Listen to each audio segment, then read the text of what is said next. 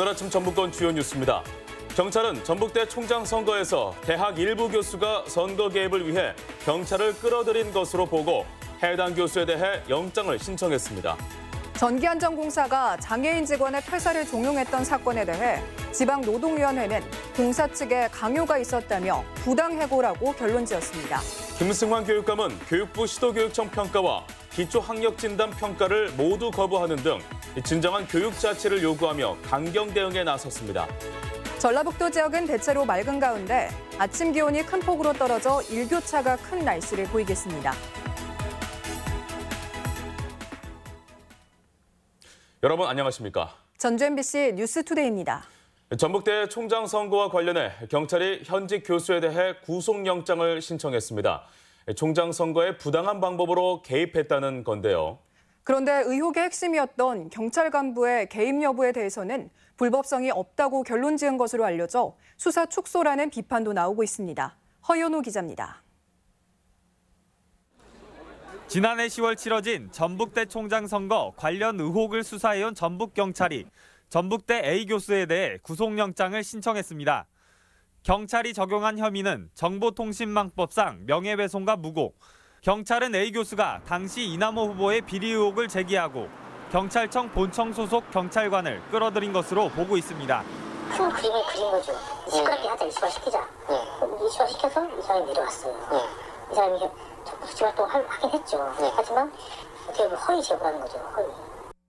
경찰에 따르면 A 교수는 이남호 총장이 비리가 있다며 김 경감에게 허위 사실을 흘렸고 김경감이 내사에 들어가자 다른 교수를 시켜 이 사실을 이메일로 교수들한테 뿌렸다는 겁니다. 하지만 경찰의 수사 결과와 달리 A 교수는 혐의를 전면 부인하고 있습니다. 근데 저는 그 중에 한 사람이고 제 가까운 네대분에게 그냥 얘기만 하고 그 다음에 그것도 보안을 절대 유지해라. 경찰이 전북대 교수 한 명을 입건하는 선에서 수사를 마무리할 것으로 알려지자 전북대 일부 교수들은 경찰이 윗선으로의 수사를 막기 위해 꼬리 자르기에 나선 것이라고 주장했습니다. 교수들은 경찰청 본청 간부와 더 많은 교수의 개입 의혹을 제기하고 있습니다. 경찰은 문제의 경찰관의 행동이 부적절했지만 불법은 아니라고 결론 내렸지만 제 식구 감싸기나 수사 축소 등 논란은 계속되는 모양새입니다. MBC 뉴스 허연호입니다.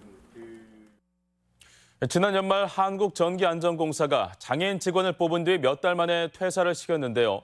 지방노동위원회가 부당해고라고 결론 지었습니다. 공사 측이 장애인들에게 강압적으로 퇴사를 종용했다는 게 진호위의 판단입니다. 조수영 기자가 취재했습니다. 한국전기안전공사는 지난해 장애인 3명을 콜센터 무기계약직으로 채용했지만 3명 모두 한 달 만에 사직서를 내면서 부당해고 의혹이 제기됐습니다. 그때 센터장님이 갑자기 그 가져오시면서 종이들 이거 사직서 쓰라고 일반인 분들도 한 달은 좀 힘든 것 같은데 장애인은 더 힘들겠지라는 생각이 들어요. 전북지방노동위원회는 최근 이 사건에 대해 전기안전공사가 A씨를 부당해고했다고 판단했습니다. A씨가 작성한 사직서에는 개인 사유로 퇴직한다며 확인 서명까지 돼 있습니다. 하지만 노동위원회는 사직서가 공사 측의 강요에 의해 작성된 것으로 판단했습니다. 좋지 않은 수습평가 역시 장애가 있는 A씨의 낮은 평가 점수를 문제 삼아가며 해고를 압박했다는 겁니다. 사직의 의사가 뭐 진의가 없다고 해서 사직이 아니라 해고로 본 거고요. 그 사유와 시기를 서면으로 통지하게 돼 있는데 그 서면 통지를 하지 않았기 때문에 지방노동위는 A씨가 어떤 장애를 가졌는지 그리고 수습 중 어떤 교육이 필요한지도 고려하지 않았다며 사측의 부족한 배려도 지적했습니다. 두려운 마음도 있고 또 더 열심히 하자는 마음도 있고 지금 뭐가 뭔지 잘 모르겠어요. 아직은 전기안전공사는 이에 대해 앞으로 장애를 가진 직원에 대한 교육 과정을 전면 개선하겠다고 밝혔습니다. 이번 지방노동위원회 결정은 공공부문의 장애인 의무 고용 제도가 사회적 약자를 배려하라는 원래 취지와는 달리 구색만 갖춰 운영되고 있지 않은지 되돌아보게 하고 있습니다. MBC 뉴스 조수영입니다. 도내 택시 기본 요금이 3,300원으로 500원 오릅니다. 도소비자 정책위원회는 택시 요금을 2km 기본 요금 기준으로 현행 2,800원에서 17.85%인 500원 오른 3,300원으로 최종 확정했습니다. 동시에 시간 거리 요금도 35초 440, 148m에 각 100원씩에서 33초 137m로 오르게 되는데 6년 만에 조정된 요금은 다음 달 초 적용됩니다. 시도 교육감들이 진정한 교육 자치를 요구하며 정부의 강경 대응 입장을 밝히고 있습니다. 특히 김승환 교육감은 시도 교육청과 기초학력 진단평가를 모두 거부하는 등 대정부 대응에 전면에 나서고 있습니다. 송인호 기자입니다. 전국 시도 교육감 협의회가 교육부의 교육자치 실행을 강하게 요구했습니다. 김승환 교육감은 유초 중등 교육의 지방분권 특별법 추진 계획안까지 마련됐지만 교육부의 실행 의지를 확인할 수 없다고 강하게 비판했습니다. 다 가져와야죠. 에, 특별히 예외적인 것만 예, 국가 차원으로 푼다. 그냥 정책으로 하는 것이 아니고 어, 법률로 명시한다. 김승환 교육감은 교육 자치는 더 이상 미룰 수 없는 만큼 우선 교육 자치에 어긋나는 지시는 거부하겠다고 밝혔습니다. 교육부의 시도 교육청 평가와 기초 학력 평가는 물론 교육부가 직접 시행해도 되는 사업에 대한 특별 교부금은 거부하겠다는 것입니다. 또 장학관을 교감급 이상으로 묶는 교육부의 인사 간섭을 폐지하고 평교사도 장학관이 될 수 있도록 해서 현장 교육을 바꿔야 한다고도 주장했습니다. 대학 정책 그리고 평생 교육, 직업 교육 이걸 하라는 거죠. 그런데 어, 대학 교육도 이제는 대학 자치 맡겨야 됩니다. 스스로 김승환. 교육감은 지난 정권에서도 평가 거부로 교육 교육부와 마찰을 빚은 가운데 교육 자치에서도 운영 전면에 나서면서. 교육부와의 갈등은. 당분간 이어질 전망입니다. MBC 뉴스 다양한 전라북도가 도내 모든 농가를 대상으로 농산물 최저 가격 보장을 위한 신청 접수를 받습니다. 도 농정 당국은 다음 달 말까지 건고추와 생강, 노지 감자, 대파 등 4개 작목의 재배 신청을 접수합니다. 도는 시장 가격이 생산비와 유통 비용을 합친 기준 가격 아래로 떨어지면 최소 90%의 차액을 보전해 주는데 지난해 도내에서는 214개 농가에서 1억 4천만 원이 지원됐습니다. 가래떡을 활용한 떡볶이 같은 전통 음식이 해외에서도 호평을 받고 있는데요. 쉽게 상해버리는 떡을 위생적으로 수출하는 것이 그동안의 과제였습니다. 하지만 상온에서도 8개월이나 신선도를 유지하는 기술이 개발돼 기대를 모으고 있습니다. 유룡 기자의 보도입니다. 쌀을 물에 불려 가루를 낸 뒤 시루에서 쪄내는 전통의 가래떡. 명절 음식뿐 아니라 떡볶이 등 다양한 음식의 재료로 활용 가치가 높습니다. 문제는 물에 불리면서 오염되거나 상온에 보관하면 쉽게 상한다는 점입니다. 하지만 농촌진흥청 연구 결과 최장 8개월까지 상온에서 가래떡 보관이 가능한 것으로 확인됐습니다. 공장에서 가공된 쌀가루로 물에 불리는 과정을 생략하고 가래떡을 식초 등에 담가 살균한 뒤 다시 가열 살균하는 방식입니다. 복합 유기산을 이용해서 어, 적정한 pH나 농도나 그다음에 적정 침지 시간을 설정을 했기 때문에 초기에 미생물들을 효과적으로 억제할 수 있었고요. 감칠맛이 조금 떨어지는 단점이 있지만 생산 과정이 단순화돼 기존 가래떡 생산보다 수익이 배 이상 늘어나는 장점도 있습니다. 아, 특히 해외 시장 진출을 추진하는 떡볶이 업체에게는 희소식입니다. 상온 유통 과정에서 식중독 균이 발견돼 전량 폐기 처분되는 등 그동안 어려움이 많았기 때문입니다. 냉장 컨테이너를 이용하는 것보다 일반 컨테이너를 이용하기 때문에 유통비용이 과감하게 절감되기 때문에 경쟁력이 새롭게 생성될 것으로 생각합니다. 떡볶이 떡의 해외 수출이 용이해지면 수요 감소로 어려움을 겪는 국내 쌀 산업에도 활로가 기대됩니다. MBC 뉴스 유룡입니다. 익산 잠정마을의 집단 암 발생의 근원지로 주목을 받아온 비료 공장에서 어제 불이 났습니다. 주민들은 시설 일부가 불에 타 암 발병 원인 규명에 차질을 빚지 않을까 염려하고 있습니다. 이몽진 기자입니다. 불은 어제 오전 8시 반쯤 비료 공장 외부에 설치된 대기 배출 시설에서 발생했습니다. 아침 시간 검은 연기와 함께 불꽃이 치솟자 장전마을 주민들은 경위 파악에 분주했습니다. 소방차 10대가 출동해 진화에 나섰고 다행히 인명피해 없이 불길은 1시간 20분 만에 잡혔습니다. 굴뚝에 있는 부분으로 연기가 아니 불이 번지지 않도록 그렇게 작업을 했으나 워낙 열기가 세가지고 연, 불뚝에도 불이 붙어버린 상태입니다.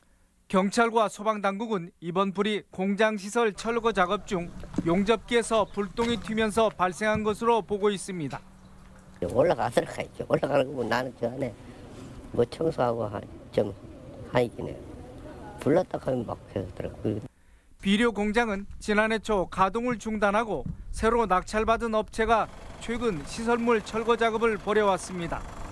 다만 국립환경과학원이 역학조사에 나선 상황에서 오염원으로 지목받는 시설이 불에 타면서 우려가 제기되고 있습니다.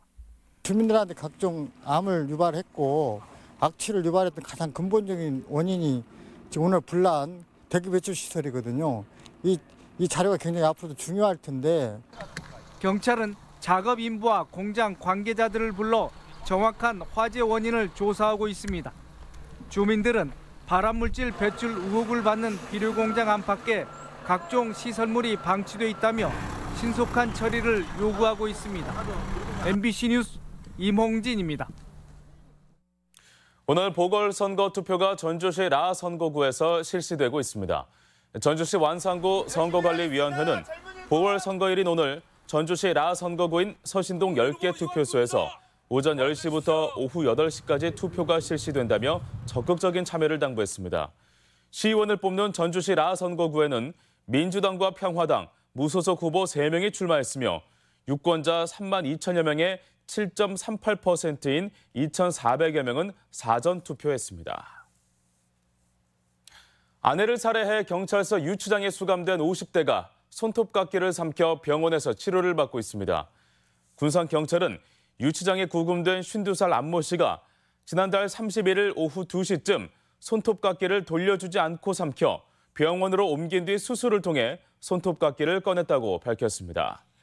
안 씨는 지난달 22일 밤 군산 조촌동의 한 주택에서 이혼 소송 중인 아내를 때려 숨지게 하고 시신을 논두렁에 유기한 혐의를 받고 있습니다.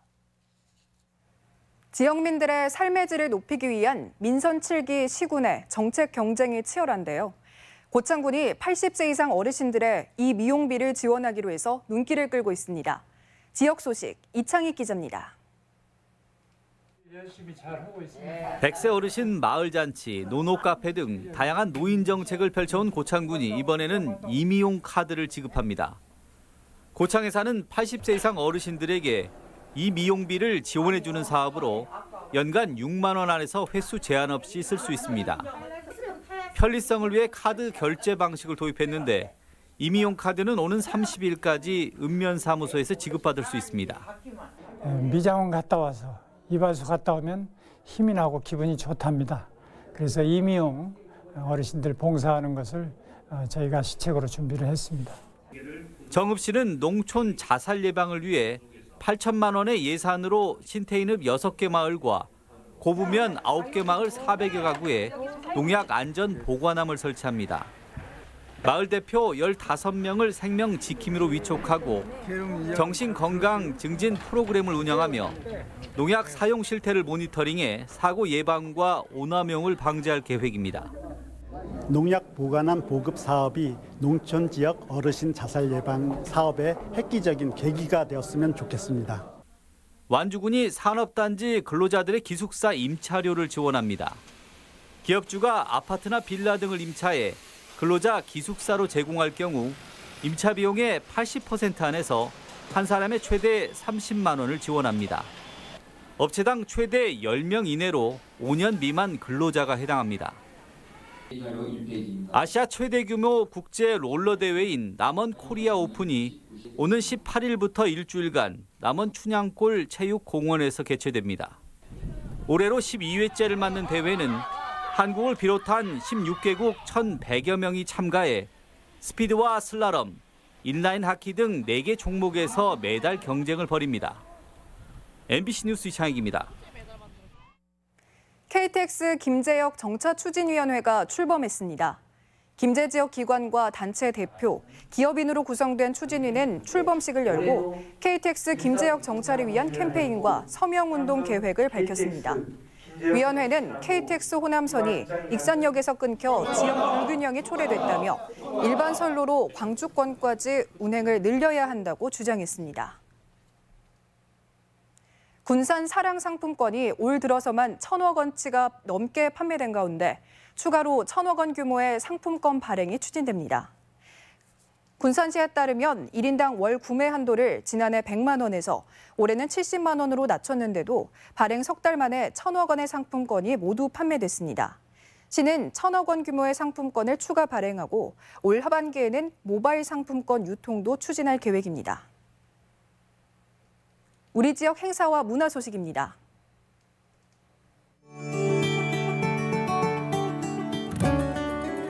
2019 익산 여성영화제가 오늘부터 사흘간 익산 공공영상미디어센터에서 개최됩니다. 서학동 사진관이 오늘부터 다음 달 28일까지 장용근 사진가의 개인전 꽃, 잎을 전시합니다. 김미광의 감성 테라코타 봄전이 전주 교동미술관에서 열리고 있습니다. 전라북도 교육문화회관이 아이들 상상 속에서 놀다를 주제로 오늘부터 그림책 원화전을 선보입니다. 전주 시립교향악단이 내일 한국소리문화의 전당에서 정기 연주회를 갖습니다.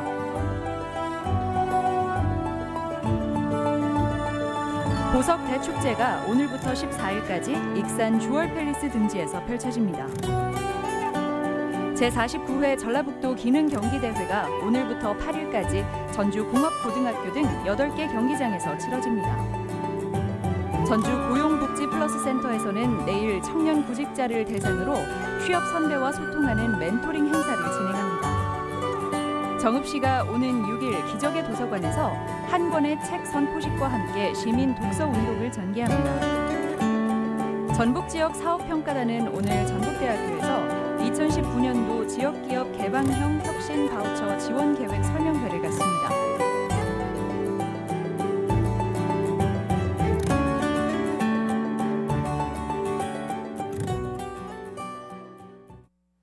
이어서 날씨 전해드립니다. 전라북도 지역은 대체로 맑은 가운데 아침 기온이 큰 폭으로 떨어져 일교차가 큰 날씨를 보이겠습니다.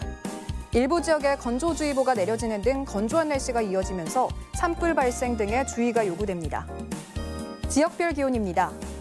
전주는 아침 기온이 1도에서 낮 기온은 13도, 익산은 영하 1도에서 13도, 동북과는 무주가 영하 4도에서 14도, 장수가 영하 5도에서 11도, 서해안권은 군산이 2도에서 11도, 부안은 1도에서 12도 등을 기록하겠습니다. 현재 초미세먼지 농도는 고창과 정읍에서 좋음 수준을 나타내고 있으며 나머지 지역은 보통 단계를 기록하고 있습니다. 오늘 하루 미세먼지 농도와 초미세먼지 농도는 보통 수준을 보이겠습니다.